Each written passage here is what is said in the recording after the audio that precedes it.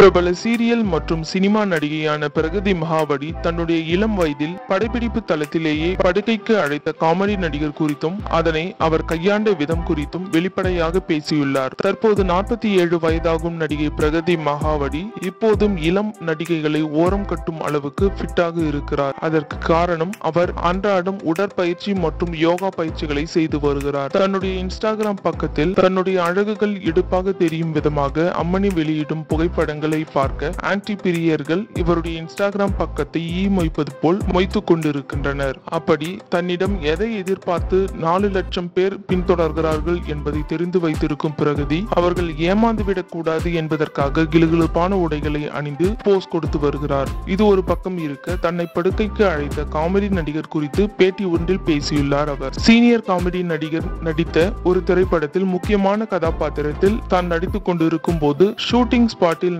நடந்தது என்று பல திடுக்கிடும் தகவல்களை வெளியிட்டுள்ளார். அவர் கூறியதாவது படப்பிடிப்பு தளத்தில் தன்னிடம் வந்து பேசிய அந்த பிரபல சீனியர் காமெடி நடிகர் என்னை படுக்கைக்கு அழைத்தார் இதனால் அதிர்ந்து போன நான் அவரிடம் எதுவும் பேசாமல் மாலையில் படப்பிடிப்பு முடியும் தருவாயில் அவரை கேரவனுக்குள் அழைத்து பேசினேன். நான் உங்களிடம் தவறாக நடக்க ஏதாவது சிக்னல் கொடுத்தேனா? அல்லது என்னுடைய பாடி லாங்குவேஜ் உங்களுக்கு அப்படி தோன்றுகிறதா? என கேட்டேன். இந்த இரண்டு கேள்விகளுக்கும் அவர் இல்லை என பதில் கூறினார். நீங்கள் செய்தது மிகவும் தவறான காரியம். இதனை என்னால் ஏற்றுக்கொள்ள முடியாது என்று அவரிடம் கூறினேன். நான் நினைத்திருந்தால் அந்த இடத்திலேயே உங்களை அசிங்கப்படுத்தி இருக்க முடியும். ஆனால் உங்களின் இமேஜ் இத்தனை ஆண்டுகள் நீங்கள் உழைத்த உழைப்பு இதனை கருத்தில் கொண்டு படப்பிடிப்பு முடியும் வரை காத்திருந்து உங்களிடம் மட்டும் கூறுகிறேன். இனிமேல் இது போன்று என்னிடம் நடந்து கொள்ளாதீர்கள் என்று அவரை எச்சரித்து அனுப்பியதாக கூறியுள்ளார். இதனை அறிந்த ரசிகர்கள் யார் அந்த சீனியர் நடிகர்? என்று பெரிய விவாதத்தை நடத்தி வருகின்றனர். இந்த வீடியோ உங்களுக்கு பிடிச்சிருந்தால் லைக் பண்ணுங்கள் ஷேர் பண்ணுங்கள் கமெண்ட் பண்ணுங்கள்